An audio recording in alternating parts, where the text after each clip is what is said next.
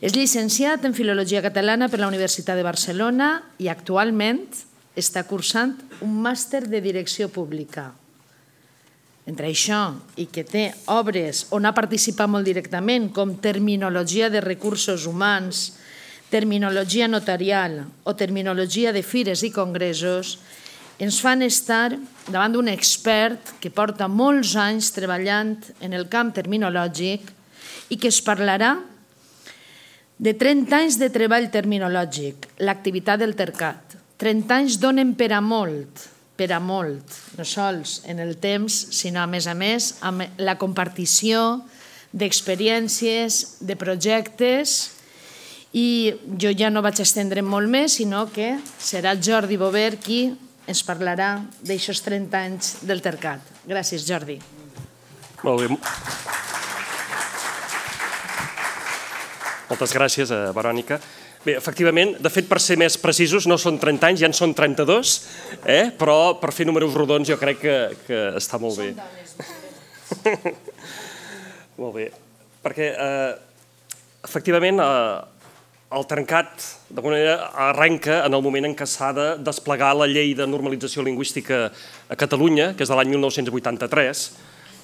En aquell moment es va constatar precisament un dels fets irrefutables que ara ens comentava eh, la Teresa Cabré, que una llengua sense terminologia eh, no és apta per tots els usos. Això es va veure de pressa que potser en aquell moment que la llengua catalana deixava d'estar eh, prohibida en molts usos, es podria donar el cas diglòssic, que gent, les persones que utilitzaven a casa seva el català, potser en l'entorn professional, eh, en l'entorn laboral, no poguessin utilitzar aquesta, eh, la llengua catalana perquè no disposaven dels recursos eh, adequats, eh? ni àmbit jurídic, ni àmbit eh, més de ciències naturals, àmbit industrial o fins i tot eh, l'àmbit esportiu. Eh, per, per resoldre eh, això es va, va semblar que podia ser adequat que hi hagués un centre que coordinés l'activitat terminològica en llengua catalana. I per això l'any 1985, concretament el 13 de maig, en un acord entre l'Institut d'Estudis Catalans i el Departament de Cultura de la Generalitat de Catalunya, es va crear el TERNCAT. En principi, el govern de la Generalitat de Catalunya assegurava el finançament principal del centre i l'Institut d'Estudis Catalans hi donava el prestigi com a autoritat normativa de la llengua catalana. Més tard, a l'any 94, eh, el trencat es va agafar la figura de consorci i també s'hi va integrar com a, com a ens consorciat el Consorci per la Normalització Lingüística, que és un òrgan que a Catalunya està disseminat per tot el territori, té més de 150 centres i, eh, d'alguna manera, també es volia assegurar més eh, aquest vincle per la implantació territorial eh, de, de les decisions que es prenguessin terminològiques.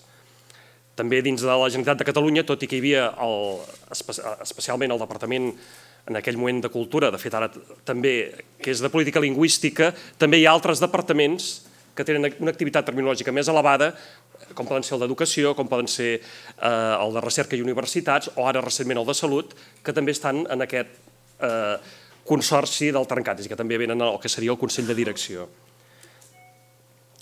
Hi ha hagut eh, quatre línies, penso, eh, que han estat una constant al llarg de, de quatre línies d'actuació al llarg de tota la història del trencat, eh, que són aquestes, eh, l'elaboració de recursos, l'assessorament, la normalització i la recerca i metodologia. Eh, tots ells, eh, d'alguna manera, entrellaçats, uns justifiquen els altres, i també amb, amb diverses derivacions només començar, quan feia molt poc que estava eh, creat el, el trencat, ja, ja va haver-hi un gran repte dins de la part d'elaboració, que va ser que s'havia concedit a Barcelona, eh, com sabeu, l'any 92, l'organització dels Jocs Olímpics, i eh, es va fer doncs, una gran tasca per mirar de disposar de tota la terminologia eh, dels diferents esports tant en català com amb els seus equivalents en altres llengües, però els usos comunicatius que es preveien, eh, tant de periodistes com d'esportistes. I per tant, amb, amb aquest temps, jo crec rècord, es va fer una gran feina, penso que estem parlant d'uns 15.000 termes en total, tota aquesta terminologia, doncs es van fer eh, aquests 29 diccionaris, un per cada un dels 28 esports que van ser olímpics a Barcelona i un altre que plegava eh, diccionari, eh, la terminologia general. Aquesta és una feina, ja dic, que en aquell moment es partia de zero, és a dir, no es, partia, eh, no es va poder partir de cap altre esdeveniment previ en què s'hagués recopilat la informació i que després eh, puc donar constància, quan jo ja era també, que aquesta terminologia ens l'han anat demanant tots els comitès organitzadors de jocs.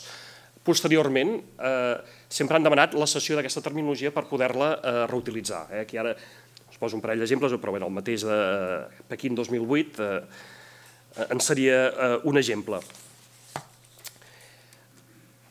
Clar, llavors, continuant també amb el tema de l'esport, aquí és un cas on es veu ben clar, sempre s'ha dit, no? un, a diferència potser d'una obra literària, que això també seria una discussió diferent, eh, un diccionari, eh, a no ser que estiguis fent un diccionari d'una un, matèria que ja no existeixi, abans que el tinguis editat ja és obsolet. Eh? I per tant, en l'àmbit de l'esport ha passat una mica el mateix. Després s'hi ha seguit treballant i, i s'hi segueix treballant i, per exemple, doncs, eh, poc més tard es va fer un diccionari de l'esport que intentava doncs, eh, aplegar eh, molta terminologia que en aquell moment no s'havia treballat. Eh? Per això, posteriorment, s'ha treballat els esports d'hivern, els esports de motor, eh, ens falta el colbol, jo crec que no el tenim, aquest que comentau, però ja, ja hi posarem remei eh, ben aviat. Eh? Però ja dic, això segueix treballant, eh? fins i tot després del diccionari de l'esport, doncs ara fa poc, no sé, el pàdel, per exemple, que no l'havíem treballat, que potser en aquell moment, eh, fa 20 anys se'n parlava poc, doncs, doncs també ara el, el tenim recollit. Eh, això, com us deia, bé, evidentment, terminologia no és només eh, producció, òbviament, però, però en aquest cas, en el vessant pràctic, doncs sí que ho és, i el trencat eh, bé, ha anat treballant en, en, en molts àmbits, eh? normalment sobre segons les necessitats detectades, a vegades no, no són diccionaris només fets amb autoria trencat, hi ha molts diccionaris que són fets amb, amb coautoria amb altres institucions i en molts casos també que són a partir d'iniciativa d'experts, d'autors, doncs, que s'han anat eh, duent a terme. Aquests diccionaris inicialment en paper, ara cada cop més en línia, eh, per aquest mateix motiu que us deia, de l'obsolescència, eh, jo diria, congènita dels diccionaris, fa que el seu hàbitat natural jo penso que sigui avui dia eh, el format en línia. En aquests 30 anys, aquests 32 anys, doncs, hi ha hagut més de 600 diccionaris eh, terminològics que, que s'han treballat eh, des del trencat. La col·lecció de diccionaris en línia, eh, que jo crec és, jo que és ja des de fa eh, menys, eh, uns 15 anys que, que està funcionant, eh, aplega al voltant d'uns 120 eh, eh, títols, aproximadament. Al costat de, de, del que serien els diccionaris mm, més llargs, per dir d'alguna manera, sí que s'han fet molts materials de divulgació des dels inicis. Eh? Jo penso que en els inicis encara era més important, no? quan una llengua vas volent que vagi introduint-se, quan ha, tingut un ús nul durant molt de temps, doncs és quan recorres eh, aquest tipus de material, com poden ser tríptics, cartells, eh, fins i tot punts de llibre, que contenen terminologia bàsica. Actualment, jo crec que l'equivalent eh, que, que estem fent eh, és també mm, formats a ser per ser consumits pel mòbil, per ser consumits en línia, estem parlant d'infografies interactives, relats visuals, eh, petits vídeos, eh, ara tampoc no m'hi estendré, però bé, són coses que donen molt de joc perquè a partir del terme et permeten també anar a enllaçar amb el diccionari eh, eh, més mm, aquest en línia que parlàvem ara fa un moment. Tot això eh, s'ha treballat des del primer moment amb, amb, amb, bases terminològiques, amb eines de gestió terminològica, eh, i bé, s'ha anat avançant eh, des de la base que teníem inicialment el 2001 es va crear la base, eh, l'eina de gestió que encara és vigent actualment, el GDT, que bé, que, lògicament et permet eh, d'alguna manera separar tots aquells camps d'una fitxa terminològica i et dona tot un, tot un joc a vegades per introduir aquests matisos que eh, potser la, teoria inicial de, la terminologia no preveuria. Eh? Diferents tipus de, de relacions de sinonímia, diferents eh, classificacions temàtiques, eh, també observacions, aquesta eina que us dic, eh, la que tenim ara que és del 2001, el 2009 se'n va fer una versió en línia, de manera que es podia treballar des de qualsevol indret en què, hi hagués connexió, i també fins i tot hi havia un altre, eh, paral·lelament al GestTerm, que era una altra eina que permetia el treball deslocalitzat, és a dir, no calia que estiguessis, tu t'ho descarregaves i podies treballar eh, des de casa teva.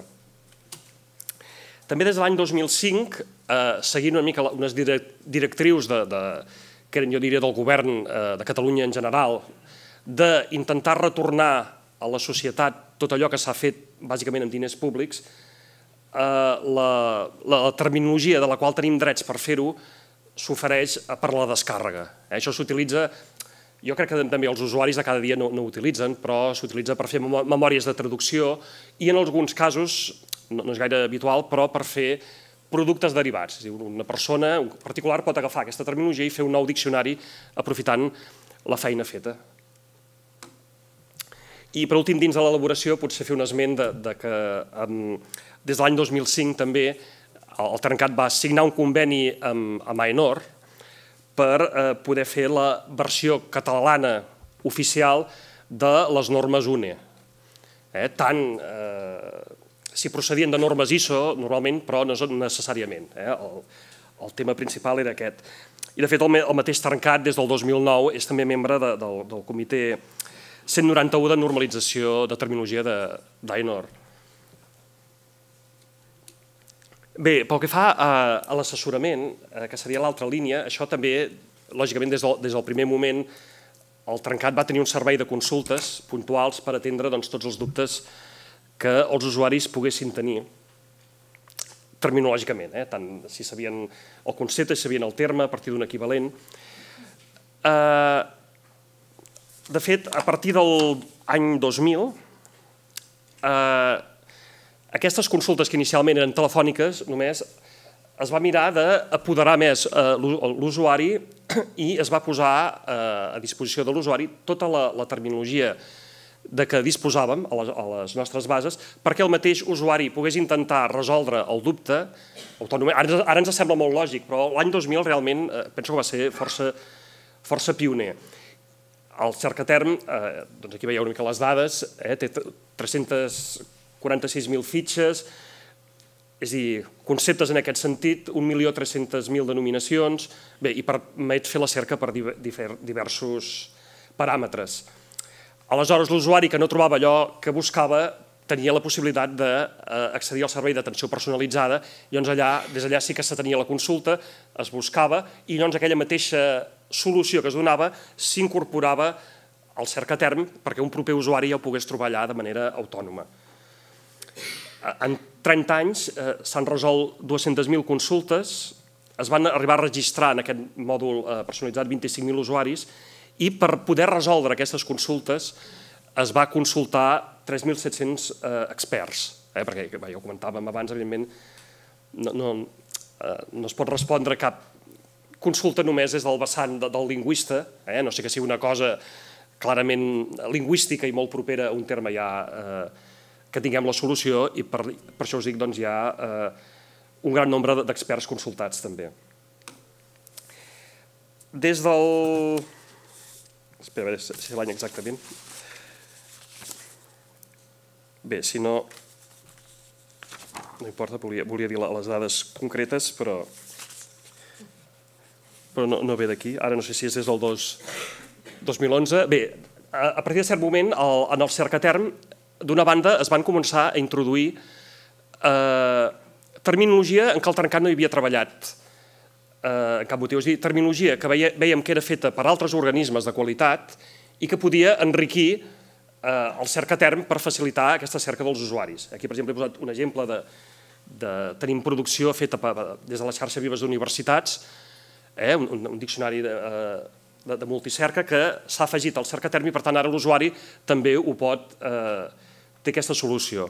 Eh? Paral·lelament, per tant, el cercaterm inicialment no tenia fonts internes, és a dir, tot era trencat i eh, en aquest moment doncs, qualsevol nova incorporació et diu exactament de quin producte ve. Eh? Ara aquí no, he de, no hi, si fas un clic on diu font, dins del trencat et diu, doncs mira, dins del trencat és del diccionari d'educació, dins de la xarxa Vives és exactament d'aquest diccionari. I que, com deia abans, espero doncs, que, que ja abans d'acabar l'any també tinguem fitxes procedents de l'Acadèmia Valenciana eh, de la llengua eh, també, en aquí.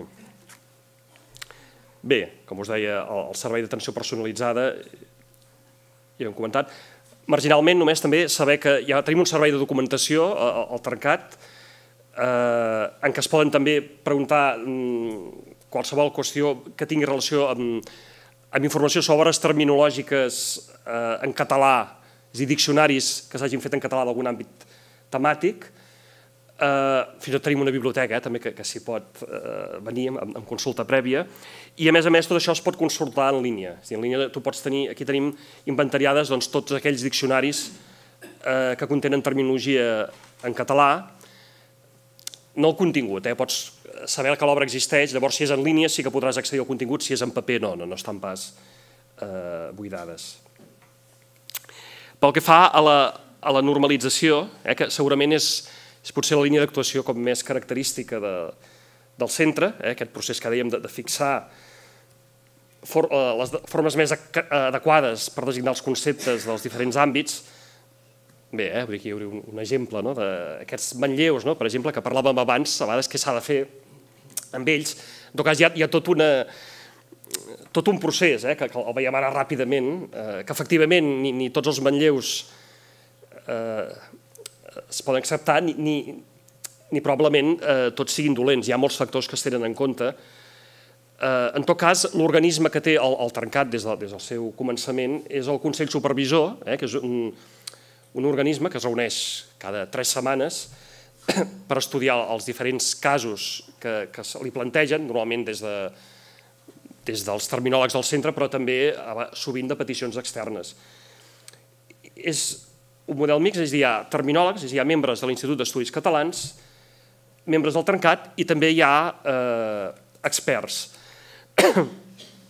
Ells són els que eh, assisteixen normalment a les reunions, però sí que hem vist, i cada cop més, que això sovint és insuficient, és a dir, l'especialització eh, avui dia conceptual és tan gran que obliga eh, sovint a tenir ex experts específics eh, d'aquells àmbits que intentem, són convidats a assistir també a les, a les reunions per defensar eh, les diferents propostes.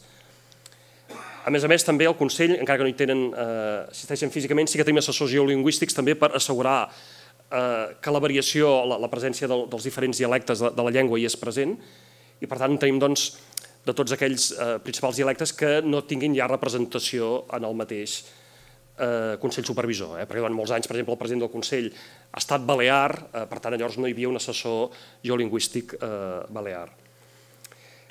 Eh, re, breument, eh, donant entendre també que no es normalitza tot el que fa el trencat, és a dir, el trencat només normalitza aquella terminologia que presenta problemes i tot allò que es normalitza no necessàriament eh, eh ha de ser una cosa normativa, és a dir, no, no segueix un procés de normatització Eh, lògicament, en molts casos, perquè no, no és necessari, és cosa molt específica, i també, en tot cas, sempre hi ha un darrer eh, filtratge, que és la decisió que s'acordi des de eh, la secció filològica o les oficines lexicogràfiques de l'Institut d'Estudis Catalans.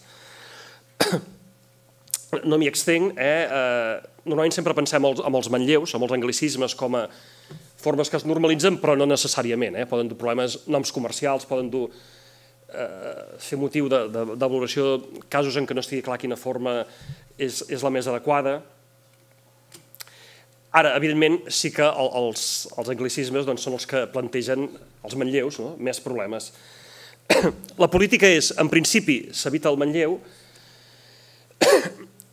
utilitzant aquells recursos propis que, que, que ens ofereix eh, la nostra llengua, però si això no és possible, ara no, vull, no cal entrar eh, que pot ser motius durs, motiu de, de què fan les altres llengües, realment hi ha una valoració molt... O, o a vegades la fortuna que tinguis per trobar una forma eh, pròpia, prou sintètica per fer-ho, doncs, en principi aquesta seria la política, no? Hi hauria, si no hi ha alternativa catalana seria el calc, si no hi ha el calc adaptaríem el Manlleu i el darrer recurs seria l'adopció del Manlleu.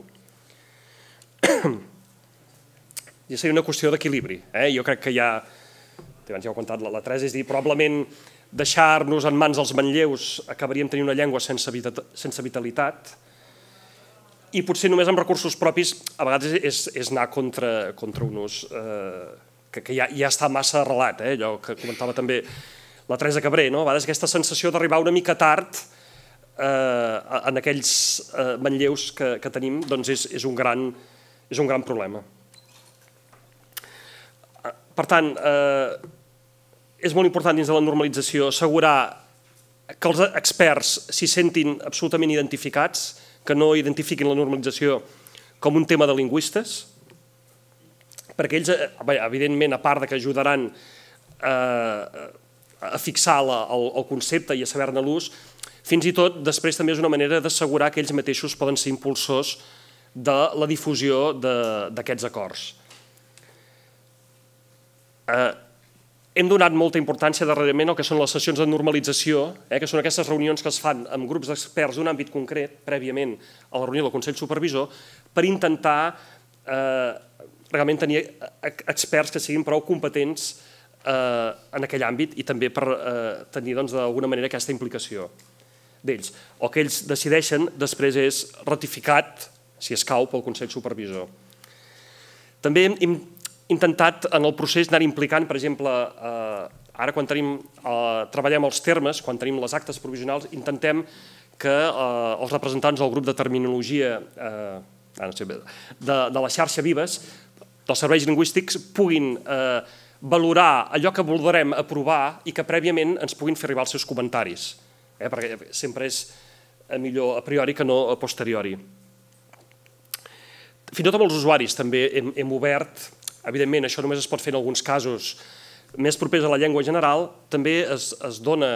Eh, s'informa d'aquelles decisions que prendrem eh, quan estan en acte provisional i, eh, i, bé, i donem l'ocasió a l'usuari que ens digui la seva. Eh? Normalment, ja dic, en termes molt especialitzats, també us he de ser franc, no hi ha gaires aportacions. Bé, a banda, tot i que tota la terminologia normalitzada està disponible des del cercaterm i els diferents diccionaris, hi ha un diccionari eh, específic, que és la neuloteca, que conté únicament la terminologia que ha anat aprovant el Consell Supervisor al llarg d'aquests anys, i que ara crec que són unes 8.500 eh, fitxes terminològiques. El repte, com dèiem, és eh, implicar-hi més eh, els experts, arribar abans a la, a la normalització, realment que no, en tot cas, de fugir de la idea que hi ha uns senyors que estan prenent unes decisions eh, sense tenir en compte eh, la, realitat. Els estudis d'implantació, eh, ja s'ha comentat abans, és fonamental, és una cosa que es va treballant. Evidentment, aprovar un terme perfecte, fins i tot tenir un terme perfecte en un diccionari, pot no voler dir res si hi ha un moment en què es perd abans d'arribar al que és l'usuari, que en el cas de la terminologia, doncs, efectivament, són, són els especialistes. Bé, hi ha camí per córrer. I finalment, també, i per enllaçar amb el darrer, amb el darrer, el darrer punt, eh, sí que hem vist que a vegades eh, intentar anar resolent terme a terme és, és poc productiu. Vull dir que en tots aquells casos en què hem pogut extreure criteris més generals, que després puguin donar una certa autonomia fins i tot a l'expert per saber quina és la denominació que, que pot ser més adequada per un terme que no el tenim, però que és paral·lel a un que sí que tenim, doncs és aquesta, eh, aquests criteris eh, terminològics. Eh, de fet, la, el que seria aquest darrer apartat, recerca i metodologia, ha estat una constant des dels inicis, eh, des de, des d'aquella metodologia del treball terminològic eh, de l'any 90, eh, que era una, una, una adaptació, una traducció fidel del que es feia eh, al Quebec, doncs eh, ha anat havent-hi una, una evolució amb criteris lingüístics inicialment, després amb la col·lecció en primer terme, des de l'any 2005, que s'han anat recollint criteris específics sobre la definició, eh, sobre el diccionari terminològic, sobre manlleus i calcs. Des del 2014, també amb aquesta mateixa evolució, eh, s'han posat tots aquests criteris en línia eh, per poder facilitar la seva, la seva cerca, fins i tot amb un diccionari específic, però a vegades si entreu al cercaterm també és possible que us surtin criteris, eh, segons el tipus de cerca que feu, perquè realment pensem que és, és, una, és una eina molt, molt poderosa. Fins i tot ara, eh, jo crec que el Joan després en parlarà, eh, eh, ara fa una setmana vam presentar el que seria com una mena de tutorial en l'elaboració de diccionaris. Eh? És un test, s'ha fet pensat en forma de test, és una persona que ha fet un diccionari pot avaluar eh, quines, eh, les coses que ha fet, si són s'adequen o no una mica als criteris més establerts en terminologia. Eh? Té 25 preguntes, va avançant, i llavors al final a cada pregunta, d'alguna manera, té informació també metodològica. seria com la, la darrera evolució d'aquesta metodologia. Reptes de futur, com us deia, eh, arribar als experts, ho intentem fer en aquests moments eh, entrant molt en comitès, eh, és dir, anant a buscar els diferents sectors professionals i, eh, per exemple, hi hauria el cas de, de l'àmbit mèdic, el projecte d'ENCAT, eh, el Diccionari Enciclopèdic de Medicina, doncs en aquests moments s'està treballant per actualitzar-lo, posar-lo al segle XXI, i amb això s'intenta doncs, anar creant una xarxa d'experts eh, molt important, eh? agafar primer un més general, després dermatòlegs, cardiòlegs i anar eh, aprofundint. Creiem que és l'única manera, fins i tot, per fer aquesta detecció precoç que abans comentava la, la Teresa Cabé, és dir, Cabré, poder arribar a, a temps amb, amb aquestes denominacions és fonamental eh, caçar-les, que no les podem caçar els lingüistes, les han de caçar els experts. Hem fet el mateix amb l'àmbit jurídic i una mica intentem anar creant aquesta complicitat en els diferents àmbits. I, i per últim, una, una qüestió que també hi hem treballat bastant, penso que està bé dir-ho, és aquesta interacció a les xarxes socials, pensant més en els usuaris, en aquesta terminologia més tova, no? podríem dir, que, en aquest que a vegades amb, amb el que seria doncs, tant en Twitter, fins i tot fent enquestes, eh? fins i tot ara aquí, per exemple, m'ha fet gràcia posar, doncs, eh, això encara no, no, existeix, vull dir, la setmana que ve, per exemple, doncs, eh, ara hem fet un diccionari de, de ciberseguretat, que sortirà ara al desembre, i llavors, per exemple, allò que dèiem, interactuem també amb els usuaris demanant-los, no? doncs, per exemple, aquest l'esquiming, no? quina d'aquestes propostes t'agrada més? En tens alguna altra? Que pensem que també això és una cosa eh, bona per, per implicar la, la societat. Re, i el que he dit al, al començament, eh, eh, la cooperació eh, és fonamental, eh? no, no duplicar feines, tot allò que... Els recursos que tenim són justos, a més per la llengua nostra, eh, en molts casos recursos públics hem d'anar tots eh, molt alhora, és, és la millor garantia per, per poder arribar més lluny. I, i ja està. Eh? Gràcies.